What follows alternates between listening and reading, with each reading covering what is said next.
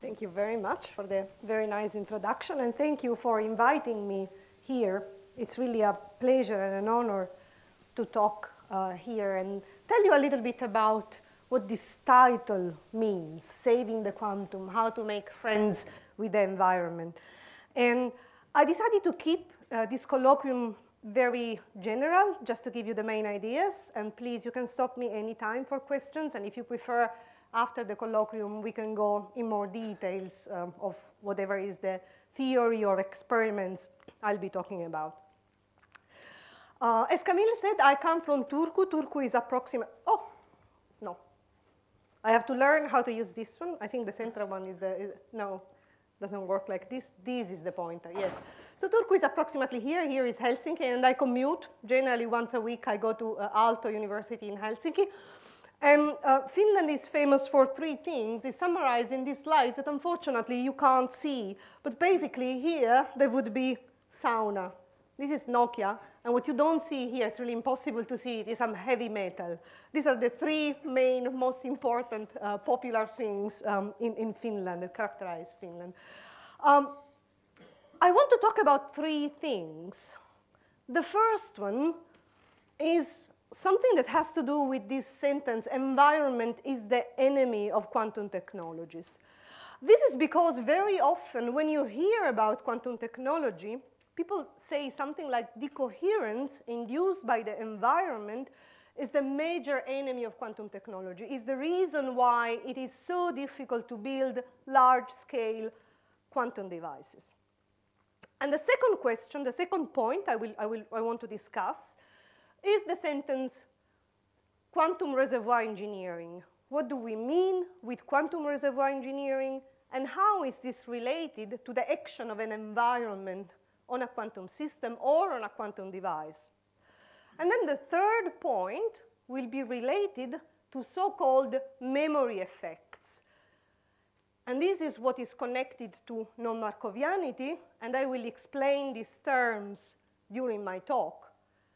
The main idea will be to actually provide some examples and some justification to the fact that perhaps it is not so true that decoherence induced by the environment is actually the main enemy for quantum computers. And how can we use the environment itself to fight or to create more efficient quantum technologies and quantum devices. But we begin with the first point, that is environment is the enemy. What do we do if we have an enemy? We try to understand it. And this means in particular in the case of decoherence, to model open quantum systems. So I will begin by talking about some general formalism to model quantum system interacting with their environment. So generally, what, what we mean or what we um, define as an open quantum system is a quantum system of any type interacting with its surrounding. The surrounding can be quantum or classical, uh, and generally, the, by definition, the system is what we are interested in. So what we want to do at the very beginning, when describing open quantum system theory, is to identify what our quantum system is, tracing the boundaries of the quantum system. And this is probably what we can measure, or it could be a part of something, and this is the first step to start defining the whole formalism that will allow us to describe uh, open quantum systems. So examples of environment, as I said, everything I'm going to say will apply both to the case of quantum environments, for example, quantum electromagnetic field surrounding an atom, but also to the case of classical environment, so to the case of, for example, stochastic noise. We will try to develop a formalism, formalism which is quite general to describe uh, both types of situations.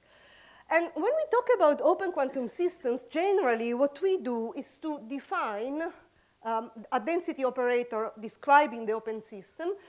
And all of the open quantum system theory descriptions start from a main assumption.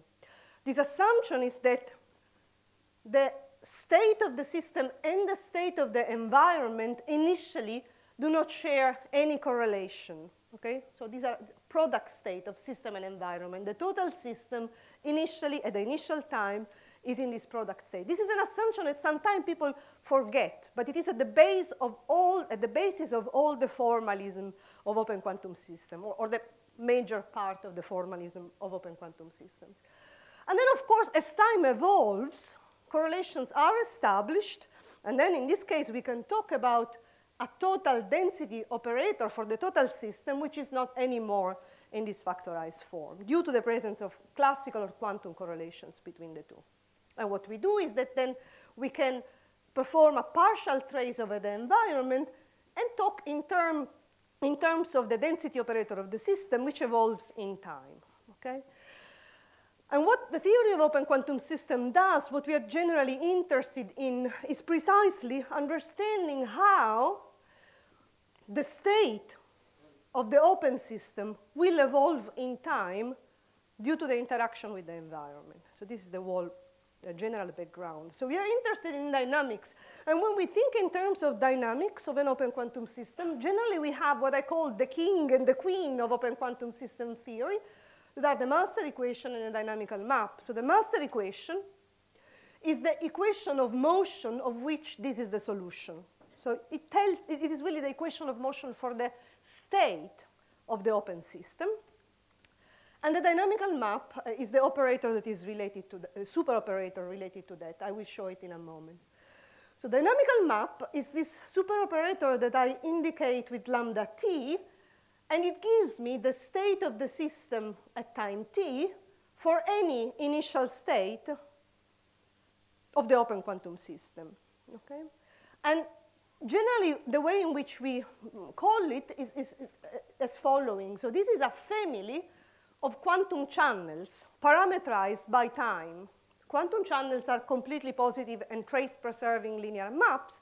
And this is not just a quantum channel, but it's a whole family parameterized by time with the uh, initial condition um, of this type. Okay?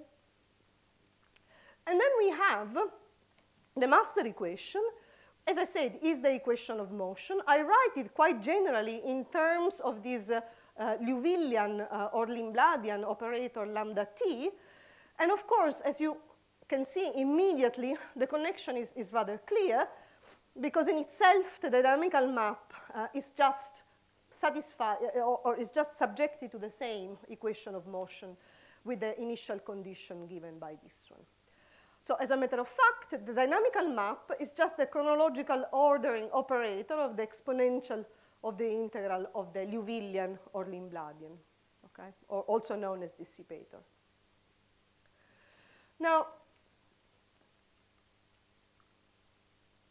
the most famous theorem in open quantum system theory is the so-called Lindblad theorem.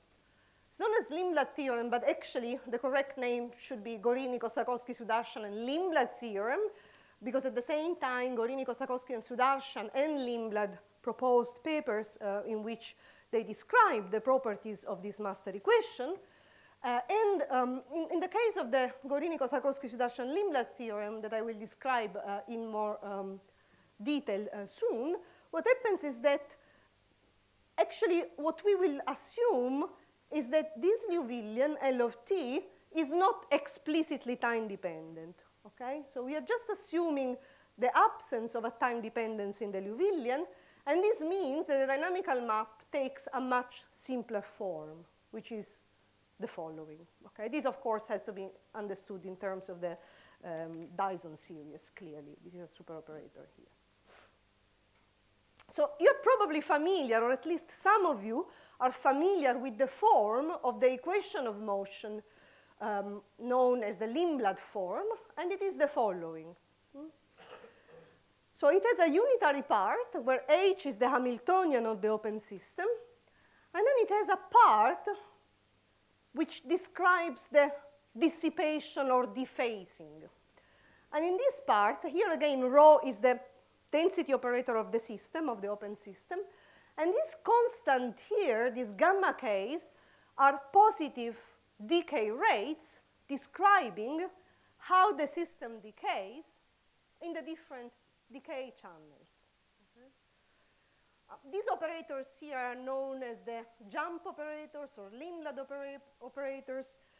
And this is a milestone in open quantum system theory because it turns out that the solution, if I start from an initial condition which is a proper state for the system, the solution of this equation will always be a proper state.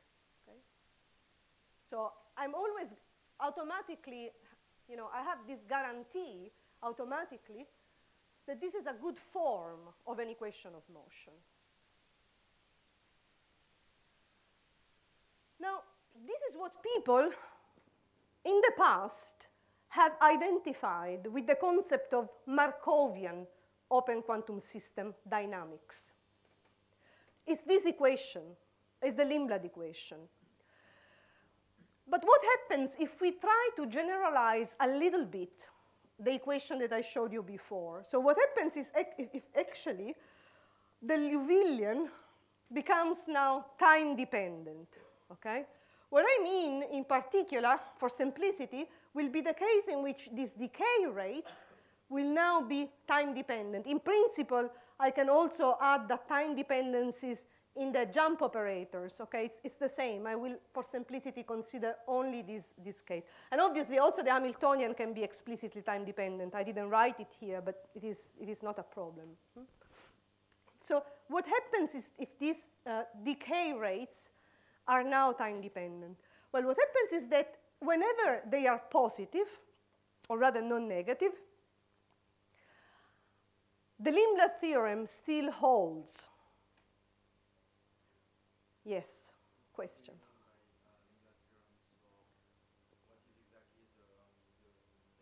Yes, the Lindblad theorem characterizes um, the equation of motion for a semigroup dynamical map. So whenever you have a semigroup, a dynamical map which is a semigroup, this is the only form consistent with a completely positive and trace preserving dynamical map. So it guarantees trace positivity and complete positivity uh, of the dynamical map, okay?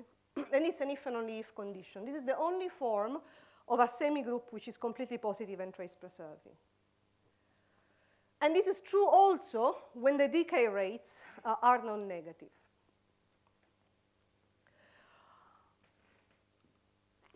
What happens to the dynamical map in this case?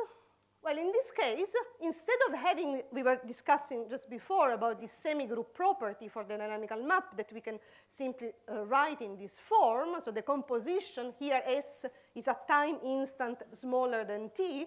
So the composition of the dynamical map from 0 to S and uh, from S to T is just given by the dynamical map of T plus S. So semigroup property, uh, because not necessarily the inverse, generally the inverse uh, of the dynamical map uh, is not completely positive. So it is not a group because the, the inverse does not belong to the family. what happens if I assume a positive time-dependent coefficient in the form of the equation of motion, the semigroup property becomes generalized to the following form. Okay? It is known as divisibility, and it just says that I can compose the dynamical map in the following way. Now, instead of having a one parameter family, I have a two parameter family, which is known as the propagator. So the, the dynamical map from zero till time t is given by the dynamical map from zero till time s smaller than t and propagated through a two parameter family, which is always completely positive. This is known as divisibility property, okay? And this is an if and only if with a Lindblad form with positive time-dependent coefficients. So this is a, a little uh, bit of a generalization of the previous concept, and this is why we still call that master equation as Markovian. But what can happen is that the decay rates may, in some cases, become temporarily negative. And in this case, this equation of motion is what we identify with non-Markovianity. The problem is that when this happens, the Lindblad theorem does not hold anymore, okay? The consequence of this is that we can still be in a situation in which we can solve this equation of motion, but the solution of this equation of motion may not be physical. What does it mean? For example, that the operator, the density operator, which is a solution of this equation of motion, may not be positive. Obviously, we need to have positivity of the density operator. Okay, so we still have an equation of motion, but we do not have the guarantee of physicality.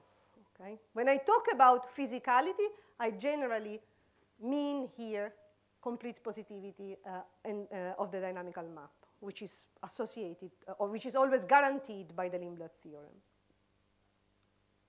Okay, so what happens in the, in the case of negative decay rates, what happens is that the propagator, lambda of Ts, will not be completely positive, okay? By definition, the dynamical map is always completely positive because I define it as a t-parameterized family of completely positive maps, but it is not said that the propagator has to be completely positive. And indeed, what, what will happen in the non-divisible case is that I lose complete positivity of the intermediate map which propagates the dynamical map itself.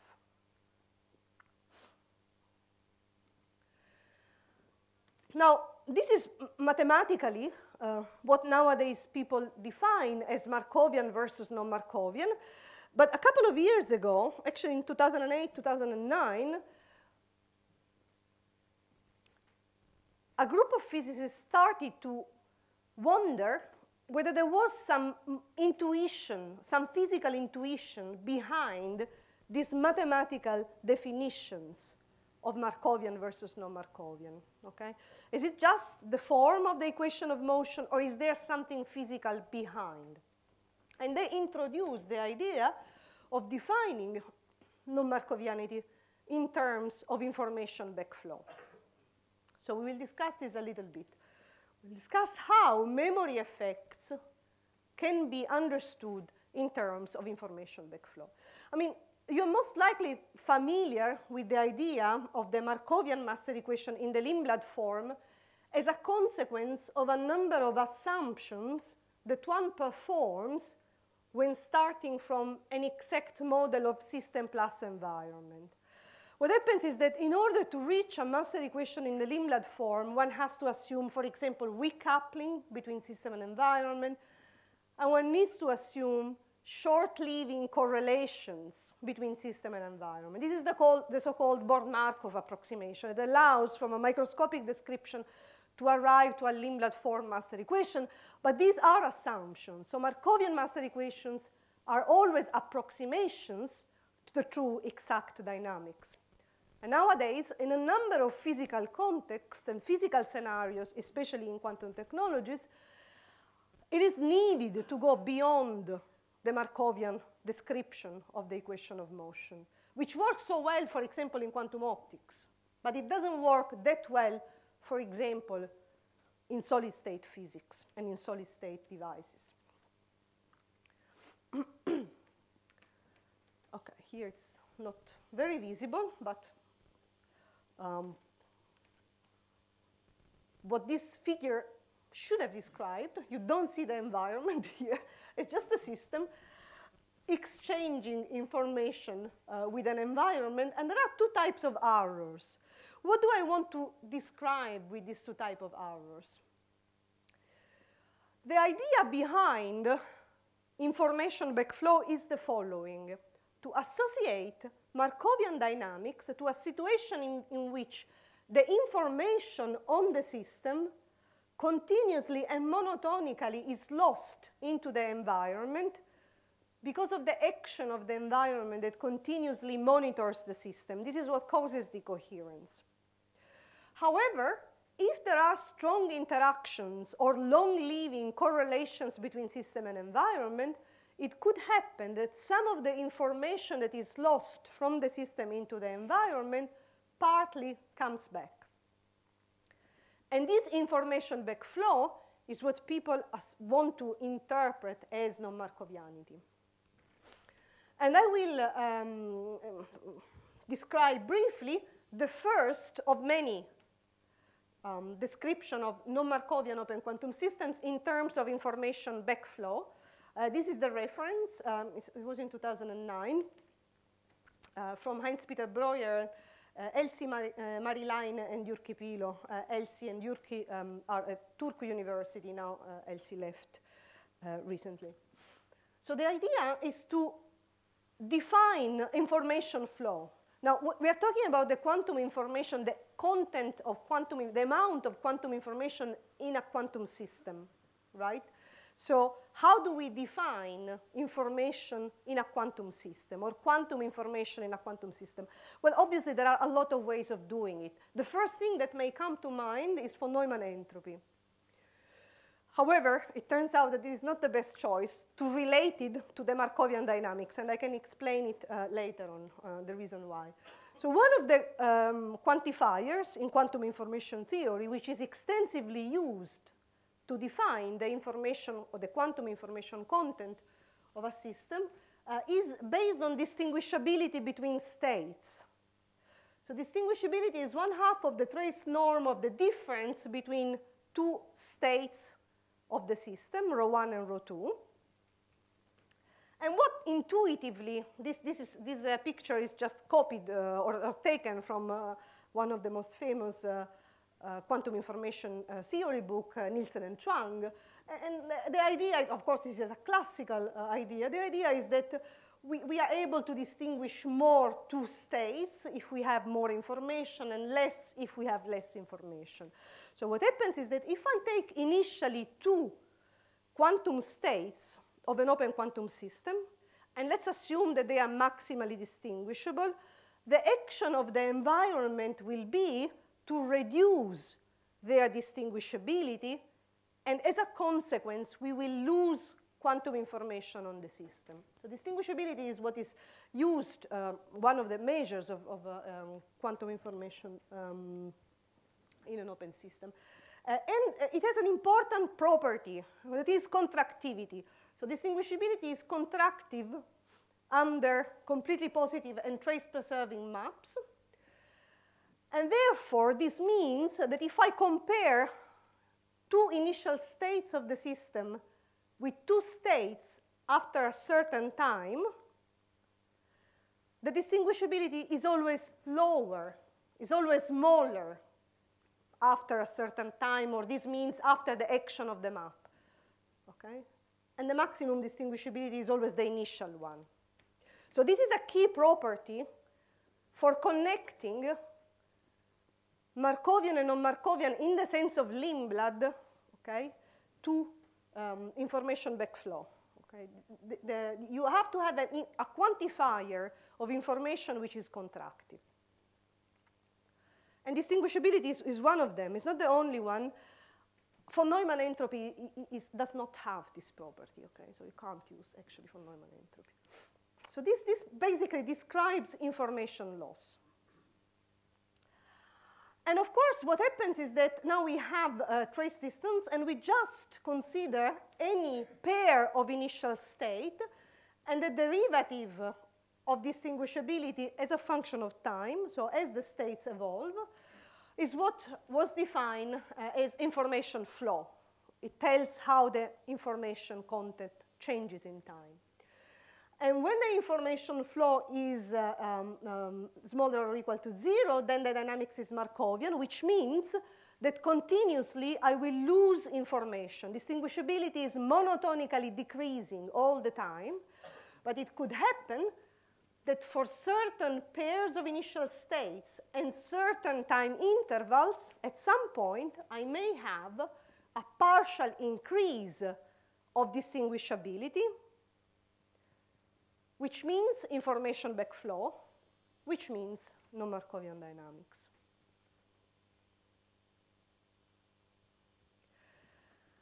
And this is connected to the non-divisibility property I mentioned before. It's connected to the fact that, that the propagator of the dynamical map may lose complete positivity.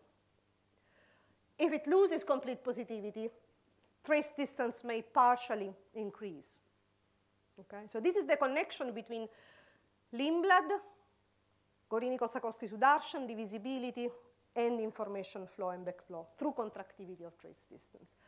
And then the same authors uh, wanted to quantify, to add a number non-Markovianity or to information backflow, as you do with concurrence. Also concurrence is, uh, uh, sorry, entanglement. Entanglement has many quantifiers. Concurrence is one of them, logarithmic negativity, and so on and so forth. So they introduced a number, which is non-Markovianity measure, and this number uh, is obtained as following by looking at all the intervals of time in which the information flow is positive, summing them up in this way. And then you need to maximize over all the pairs of initial states. This is because non-Markovianity is a property of the whole family of quantum channels. It's a property of the dynamical map. It must be independent on the pair of initial states. This optimization problem is generally very complicated to solve. It's not easy, okay? okay, so the key point is the visibility of the dynamical map. And then a number of, of uh, information quantifiers have been introduced. For example, I, I mentioned the one based on trace distance, but you can use many others that are used in quantum information theory. And these are just a selection. There are many more. You can use mutual information, Fisher information, fidelity among states, entanglement with an ancilla, channel capacity.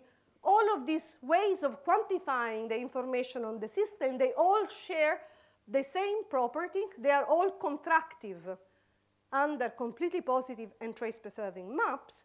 And therefore, a partial increase of these quantifiers signals non-divisibility and therefore memory effects. Now, please note that these are not if and only if conditions. This means that divisibility is not equivalent to non-Markovianity in terms of increase of trace distance, okay? What happens is that every time I have a partial increase, then I violate divisibility. Okay? But I can have violation of divisibility also when I don't observe a partial increase of, of, of, the quantifier. And therefore, they are all different in itself, okay? They are not the same. And, and I want to uh, point out everything I said in a much more complete way is uh, reviewed in these uh, three recent reviews on non-Markovian open quantum system. The first one uh, is uh, mostly dedicated to the trace distance measure. This is a comparison between different measures of non-Markovianity in terms of information backflow. And here is the, the, last one is more dedicated to ways of solving the dynamics uh, of non-Markovian open quantum systems and Markovian. And then very briefly, and I'm happy to discuss this more later on if you have questions, you can actually generalize the idea of non-Markovianity, not generalize, but actually define different hierarchies of non-Markovianity. And this is related to the concept of k-divisibility, which is related to k-positivity of the, the, intermediate map. Okay, so you can define a whole class of intermediate um, uh, non-Markovianity um, levels somehow. And these things have been observed in experiments, so they are accessible experimentally, um, and there are, um, they have been studied uh, in different ways. Obviously, the, the, uh, the, clear question that you may think of, why? Why do you do this? I mean, why should we quantify these different degrees of non-Markovianity or non-Markovianity in itself? And I will try to answer to this question later because it turns out that memory effects can be useful in quantum technologies, okay? We will go back to this point later on.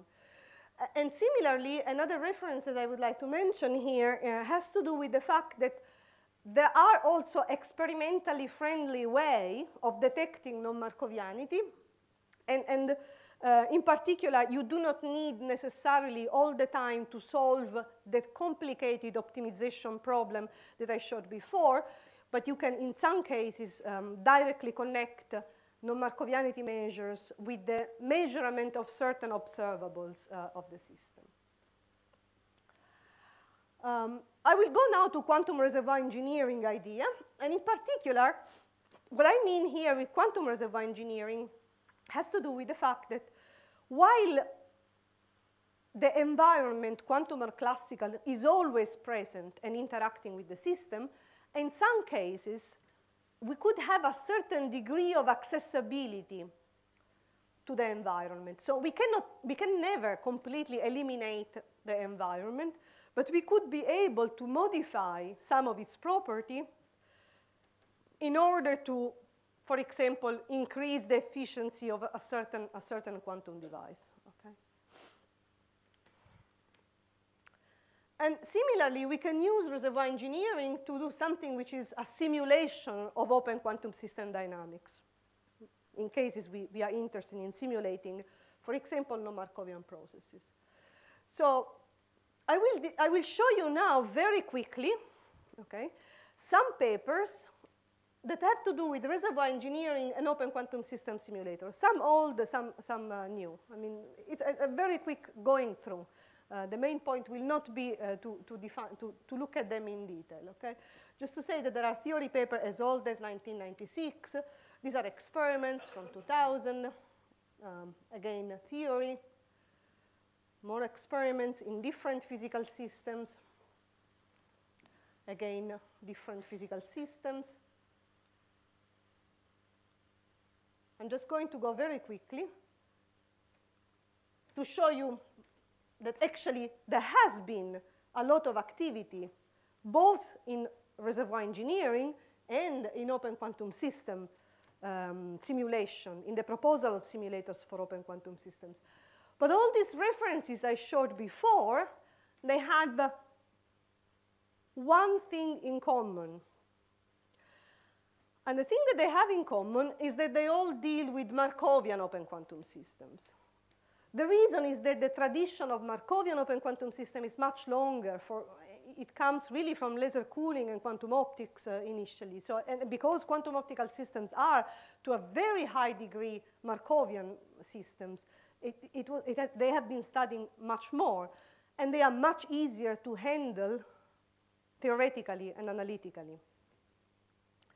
Only recently, there have been the first experiments on non-Markovian open quantum systems. This is one uh, collaboration between, uh, um, between um, Chinese group uh, in Hefei um, of uh, Chuanfeng Li uh, and uh, theorists from Turku and, and Freiburg. Um, later on, there have been observations of so-called weak non-Markovianity in the group of Fabio Sciarrino and Paolo Mataloni in Rome, this weak non-Markovianity is related to the different hierarchies of non-Markovianity that I described before, to the concept of K divisibility, uh, and also some simulators of qubits, uh, quantum simulator of, of, of, noisy channels, both Markovian and non-Markovian. And recently, um, together with, again, uh, the, the group of Chuanfeng Li in China, uh, we developed uh, a quantum simulator for pure dephasing, which is able to synthesize any type of spectral density. So it's, it's completely flexible in the uh, determination of the spectral density and therefore in the form of the time-dependent coefficients in the master equation, positive or negative. And all these papers obviously have in common the fact that these are the first experiments of non-Markovianity, but they are also very simple models, okay? So the, the type of master equations that they are able to engineer are very simple forms of master equations. So recently, uh, we started to um, think and investigate whether we could study more complex types of quantum environments interacting uh, with open quantum system and changing their properties on demand. And we thought about cold gases. And in particular, I'm going to talk about Bose-Hubbard Hamiltonian as a controllable environment for an open quantum system. And in particular, I will focus on a one-dimensional gas of cold bosonic atoms trapped in an optical lattice and confined in the lowest Bloch band. So this is the well-known Bose-Hubbard model. The, the um, um example I will discuss is something that we have been doing, uh, uh mostly my PhD student Francesco Cosco and my former postdoc Massimo Borrelli in collaboration with Francesco Plastina from the um, University of Calabria and the group of Dieter Jaksch in Oxford. So this is the Hamiltonian of the Bose-Hubbard model. And here we have, uh, probably many of you will be familiar with this model implemented in optical lattices. Uh, and, and, here we have two main terms, one describing the on-site interaction with U, the on-site potential. And this part is describing hopping between different lattice sites with coupling strength J. And it is well known that this model is such that what, when I increase the ratio between the on-site potential and the hopping uh, potential J, there is a quantum phase transition occurring in the ground state of the Bose-Hubbard model. And in particular, when U is much smaller than J, I have, so therefore when hopping dominates, I have the superfluid regime in the ground state of the Bose-Hubbard model. In the opposite limit, I have Mott insulator regime. So basically, the atoms are stuck in the um, bottom of the potential well uh, of, of, um, of the lattice. Now, obviously, this corresponds to a quantum phase transition between a completely delocalized phase and a localized phase, which is the Mott insulator phase. And you know that there have been a number of experiments realizing these models and observing this quantum phase transition. Now, what we assume to do, this will be our environment, okay? So the environment we are interacting uh, now with uh, is a, a, complex environment undergoing a quantum phase transition. And our system, the system, the open system that we want to consider, uh, is actually um, an impurity atom trapped uh, in a, for example, optical tweezer. So we assume to have one atom in a very highly confined potential and we consider the motional ground state uh, of this impurity atom and two lowest internal states that I indicate with E and G. So effectively, the Hamiltonian, the effective Hamiltonian of the impurity atom is treated as a two-level system. So the initial state, so this is, this is a probe uh, scenario in which I assume that I can controllably let the probe interact with the environment for the amount of time uh, I desire, okay? So initially, the state of the total system probe, probe means here, will be here my open quantum system. So probe plus environment is a factorized state of the ground state of the Bose-Hubbard model and the initial state of the probe, which will assume to be, I will assume to be in a superposition, uh, equally weighted superposition of excited and ground state. These are things that can be done through Ramsey interferometry, for example, this preparation of these states. And then what happens is that we will immerse the probe in one of the um, optical lattices site. I will call it site zero. This looks tilted, uh, but I'm not, it's just, it's just an effect of the drawing. I'm not considering tilted optical lattices, but just the normal optical lattice. And the interaction is a collision-collision um, interaction. And of course, uh, I write the interaction Hamiltonian between system and environment in this form. This is the local number operator of the Bose lattice. And this is the uh, excited state of the atom. So it's an interaction which depends on the state of the atom, which is my probe, okay? It's active only when the state is in the excited state.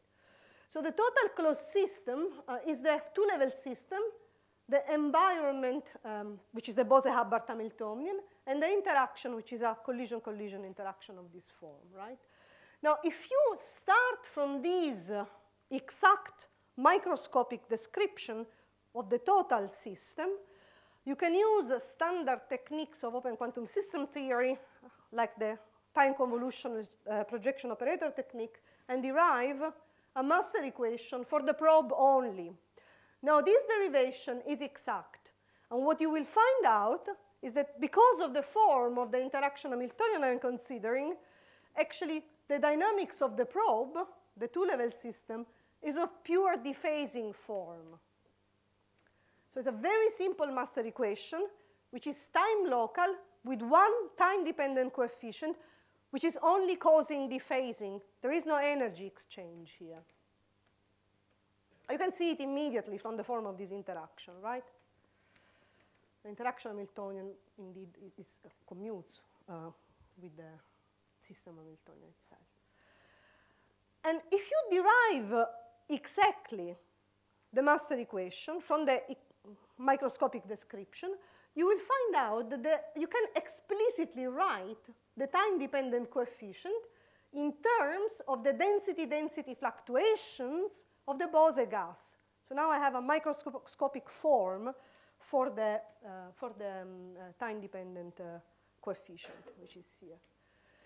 And depending on this expression here, you may have both Markovian and non-Markovian dynamics because the time-dependent coefficient can be either positive or negative. In particular,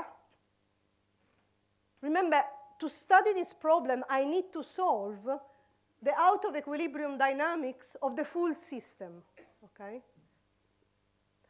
I can do this analytically only in two regimes, superfluid and Mott insulator regimes. Otherwise, I have to use numerical approaches, so-called TDMRG uh, numerical uh, calculations um, that are used commonly in these systems.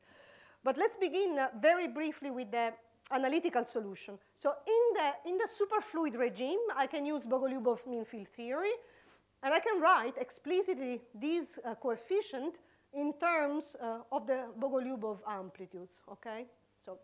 I don't go into the details here. I just want to tell you that it can be directly related to the microscopic um, description uh, of the system. Uh, in the opposite regime, uh, we have been using these uh, results um, to, to uh, solve exactly the full dynamics uh, in terms of the so-called particle hole type bosons. So you introduce doublons and holons. Doublons and holons have to do with the fact that we consider a unit filling lattice, one atom per lattice side. When you immerse the probe and you go out of equilibrium, what can happen is that you create either two particles, doublons, in a lattice, or a hole, okay? This is you, you have these density waves propagating. And you can, once again, analytically express this time-dependent coefficient. And then again, then the solution of this master equation is, uh, is uh, of course, uh, a pure dephasing solution. So you can calculate the coherences, uh, which depend on these time-dependent coefficients, which in turn is related to the time-dependent decay rate. Okay? Now this, because this can be both positive and negative, is not Markovian. There is no Lindblad theorem. It may, in principle, be non-physical. However, since we always use the exact full solution for the total system dynamics, of course, the reduced dynamics will always be physical because I'm solving the full closed model, okay, here. okay, so what happens in this case? We can introduce um, the so-called Loschmidt echo. I will not say much, um, and I will not um, define it in detail because of lack of time, but I can only say that the off-diagonal elements depends on this uh, Loschmidt echo, which is the overlap between the time-evolved state of the, of the gas and the initial state of the gas, meaning of the Bose-Hubbard Bose model. And what you can see is that you can calculate exactly the non-Markovianity measure. It's related to the Loschmidt echo. The Loschmidt echo has a non-monotonic behavior, and this non-Markovianity measure sums up the intervals where the Loschmidt echo um, increases partly. So where, coherences, if you don't want to think in terms of Loschmidt echo, think in terms of coherences, they're equivalent. Whenever you have a regain of coherences, then you will also have um, this will contribute to the, uh, to the non-Markovianity measure. And now what we plot here is uh, the non-Markovianity measure in itself, a renormalized non-Markovianity measure in terms of information backflow, as a function of the ratio between U and J. Remember, changing U over J, I go from the superfluid to the Mott insulator regime. And what happens is that initially I have zero non-Markovianity, so the system is Markovian. Then I have a peak, and then I go down. Please notice that this green curve is actually, of course, numeric, because I can't go through the quantum phase transition analytically. I can only do the, uh, the two extreme regimes, superfluid and Mott insulator. And the analytical results only match actually deep uh, in the Mott insulator phase. Uh, otherwise, there are differences with the uh, numerics, um, as a matter of fact. So what does it mean? If I zoom in, again, this is again a non-Markovianity measure, and I'm zooming in close to what is known to be the quantum phase transition point, I will see that actually, for different numbers of atoms, or, or lattice size, if you want, there seems to be a consistency between Markovianity, Markovian dynamics of the probe, and superfluid phase of the environment, while the Mott insulator phase is non-Markovian. Okay? What does it mean? Well, it basically means that if I immerse a probe, an atom, in the superfluid environment, because of the delocalized phase, the information will go into the environment and never come back. Okay? The density wave will be such that in the environment, information will be always going away from the system. While in the Mott insulator case, the atoms are stuck, each of them in the bottom of the, of the uh, potential well, in the lattice size, one per potential well. And when I immerse the probe, because the system is more stiff, information, so the, the probe will cause a Doublon-Holon quasi-particle wave that will be allowing a partial backflow of information, a partial return of the information into the system. Um, so there is actually this, this um, separation between superfluid as Markovian and Mott insulator as, as, as non-Markovian uh, in the open system dynamics. Now, we have verified this in many other systems, for example, um, systems with the disorder, Aubry-André model, and so on, on, and seems to be uh, very often the case that the phase of the uh, environment induces, seems to be very strongly correlated to the induced dynamics of the probe, which also means that by using a local probe and looking at the dynamics of the local probe, I'm able to detect the quantum phase of the environment.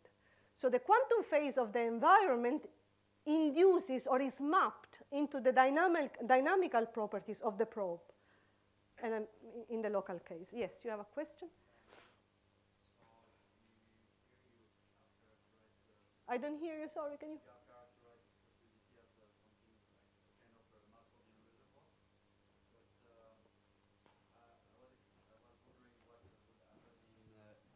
Oh, oh, thanks. Uh, here, your superfluid phase is Markovian, mm -hmm. but you're in one dimension, so you have one uh, specific uh, spectral density.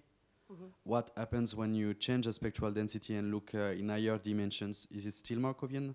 I have no idea. For the Bose-Hubbard model, um, I think it is, I may be wrong, but I'm pretty sure that you, it's very hard to do TDMRG for bidimensional lattices. These were already quite heavy calculations for 1D. Huh? Okay. Um, but for other systems, you can uh, investigate, yes. Uh, and I don't know, it, it will depend. I don't have an intuition about that. Okay, so I think I'm, i should be uh, 10 minutes. That's, that's great. I think I have time then to conclude. So the question is why? I, I think I partly explained, due to the nature of the excitations of the many-body system, why one is more supportive of an information backflow in the localized space than, than the other one.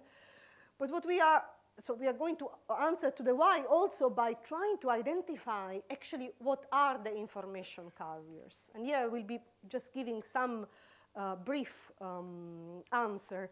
But of course, we have been investigating this in terms of the density uh, density fluctuations uh, of the, uh, of the um, underlying gas, which is the only way of, of understanding what is going on. Because generally, it isn't easy when you use these quantifiers of information, it isn't easy to understand whether there is a physical information carrier or not.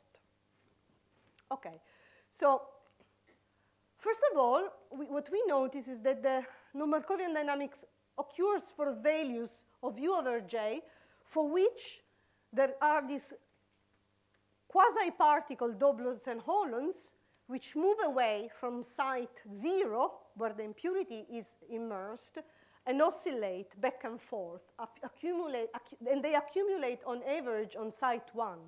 So this is what our numerical analysis tells us, what is going on. Uh, and of course, these constitute the environment memory. So the information carriers seem to be, at least in this model, the quasi-particles, these doublons and holons, which are present only in the Mott insulator phase and not in the superfluid uh, phase, which is the delocalized phase.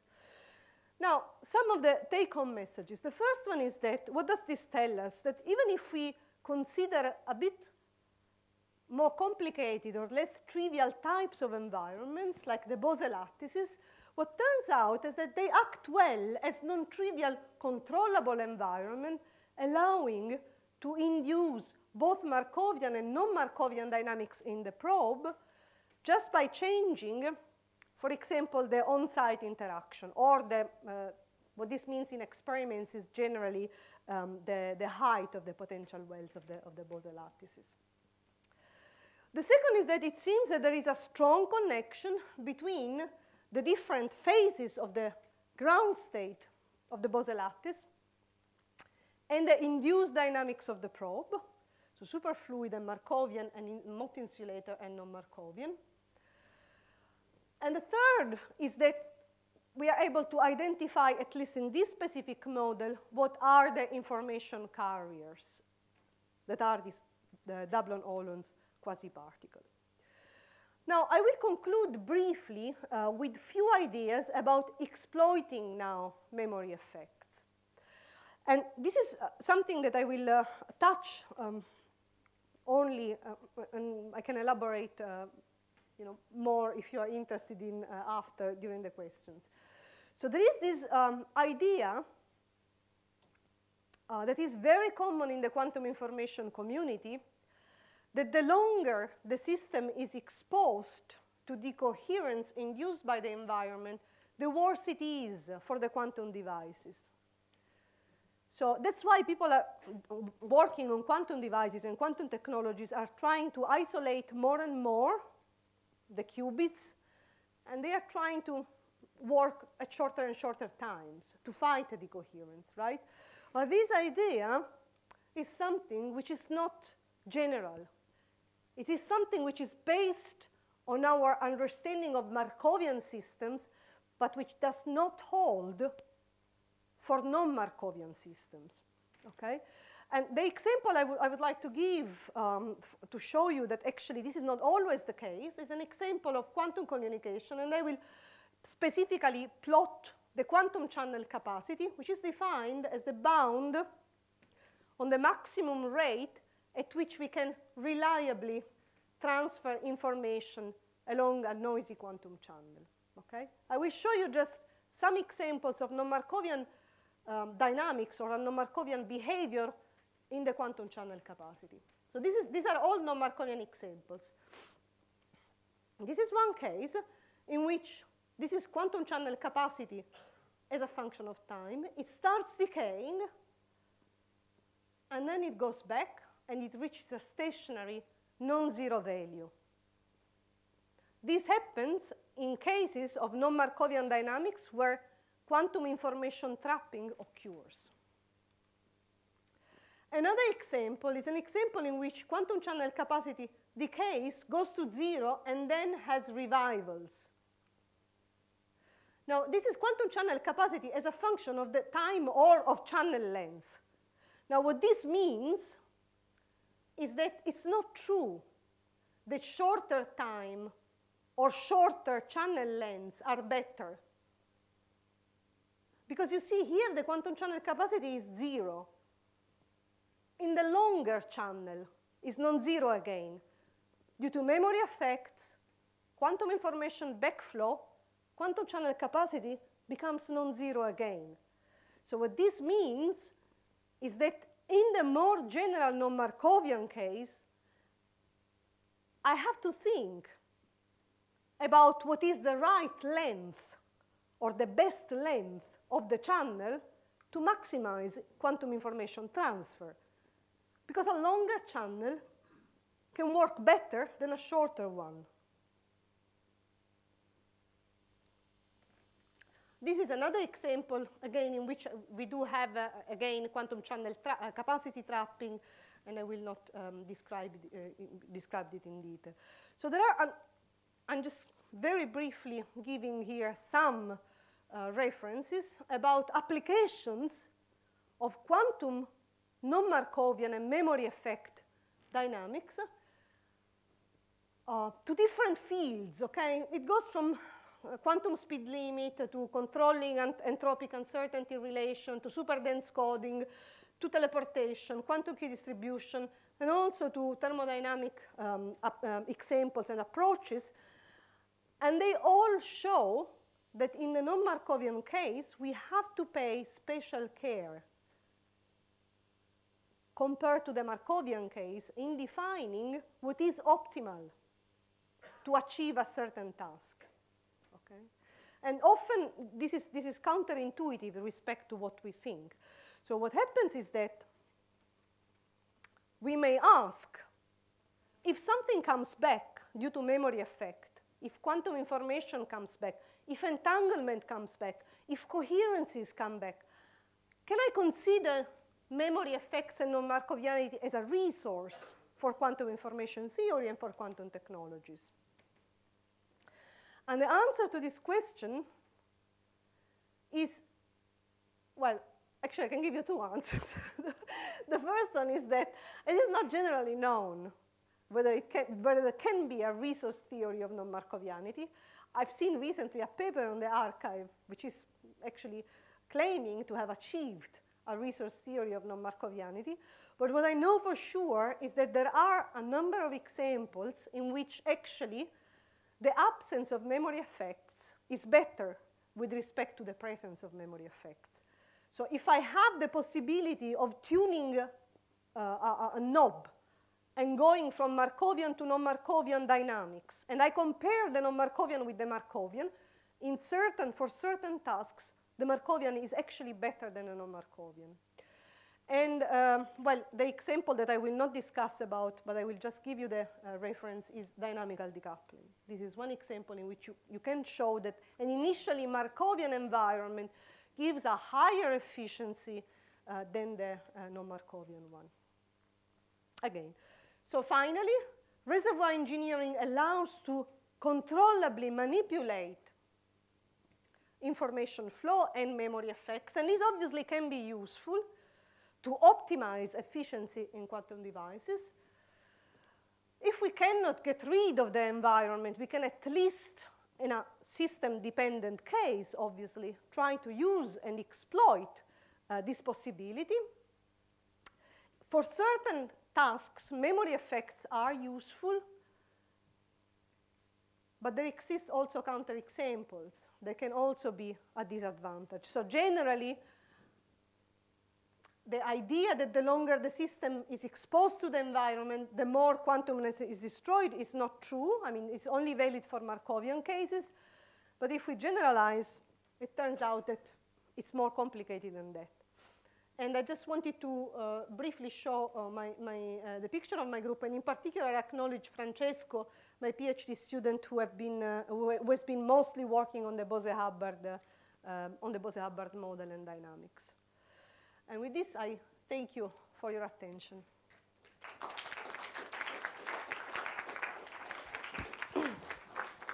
So you had this, uh, this uh, rate of uh, information flow that you call sigma, I think, which in principle should be negative, but you said that sometimes with non-Markovianity can be, for short times, can be positive. It sounds a lot like irreversibility uh, in, in classical or quantum thermodynamics in the sense that irreversibility should be an increasing function of time, but we know with fluctuation theorems that this, this guy can actually sometimes be uh, decreasing uh, for some short period of time. Is it something that, uh, that is... It is not directly connected um, because, well, I mean, in most of these examples, the systems are truly irreversible uh, in all cases. And you can have information flow or backflow in truly irreversible systems in any case. Um, there is a connection uh, in, in a way, so you can define some entropic measures of information flow. Uh, one that has been considered and studied is um, relative entropy. It, it, has some disadvantages, but they are technical disadvantages because relative entropy between two states, well, diverges for, for um, orthogonal states. That's why it's not been used extensively. Um, so it is, it is even when I consider finite systems, for example, when I looked at the Bose-Hubbard model, of course, I generally have a finite environment there. But we always look at times which are shorter than the recurrences because we want to quantify what we call the non-trivial information backflow. There is a trivial information backflow in a finite environment which just comes back from the fact that the density wave reaches the boundaries and comes back. So obviously, are, there are Poincare times. I mean, but, but we are not looking at that. We are just looking at uh, shorter times. Uh, so the, the memory effects there come from the long-living correlations between the system or the probe and the environment. So it's the main. It, it's, it is the correlations and not the coupling because we are still in weak coupling in these examples. Uh, how do your results for the Bose-Hubbard model depend on the strength of the coupling uh, between the impurity and the environment? Because naively, uh, I would guess that if the, this uh, coupling uh, becomes very weak, then it, it should become Markovian. Uh, well, this, we, are, we are still here working on weak coupling, but you can see, uh, well, it depends. We work both at weak coupling and at, at strong couplings. I can show you the formula here. So it's basically, you see in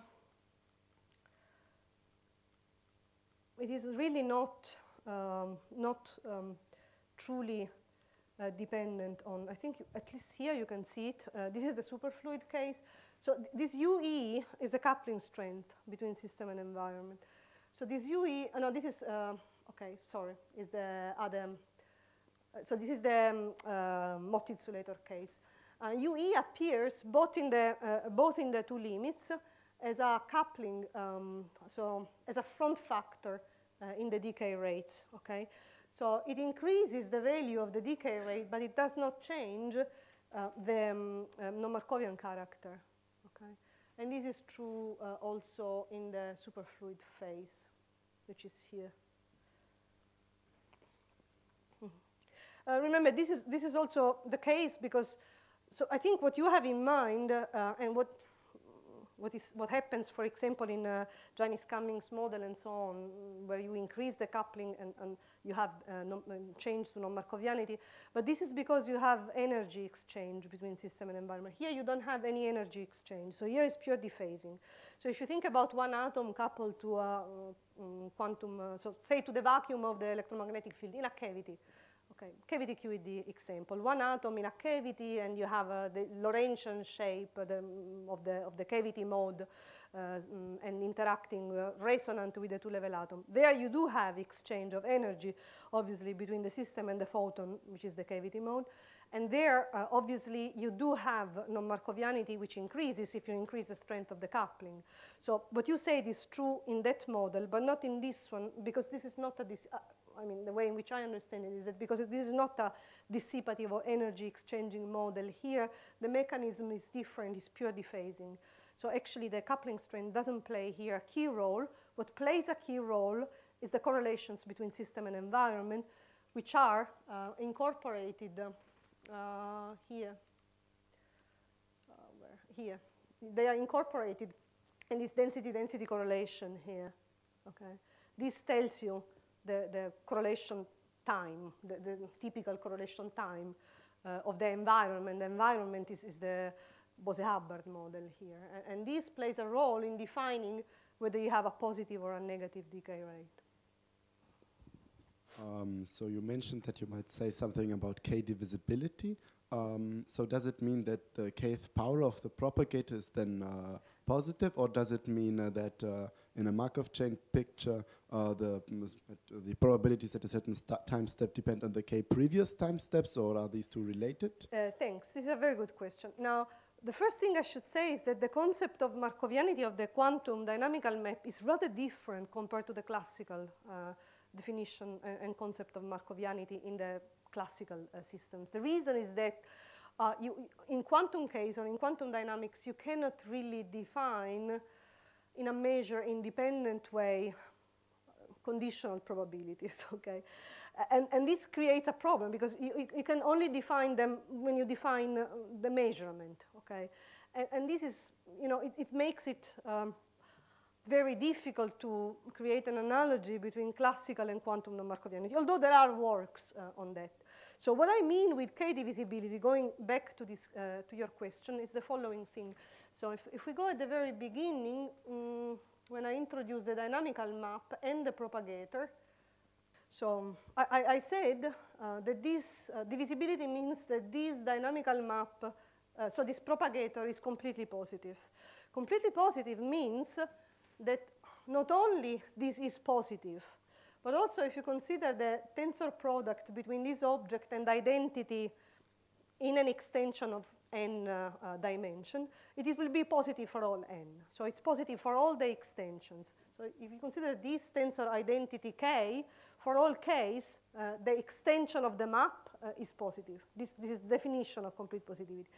Now, k, k divisibility means not complete positivity, but k positivity of the map. This means that if you consider this tensor product identity till k, um, this is positive until k, and it loses positivity after k. Uh, if I had a board, I could show you. I mean, uh, it is uh, difficult to, but it's, it's just that instead of considering uh, complete positivity is, is, um, is, is uh, k positivity for all k from 1 to infinity while uh, uh, k positivity is positivity until k with tensor product identity 1, 2, 3, k. And similarly, uh, CP divisibility means complete positivity uh, of this, and K divisibility means K positivity of this, of the intermediate map, basically. So you, you define in this way these hierarchies. Mathematically, they are all mathematical things, yeah. Thanks again, uh, Sabrina. Thank you.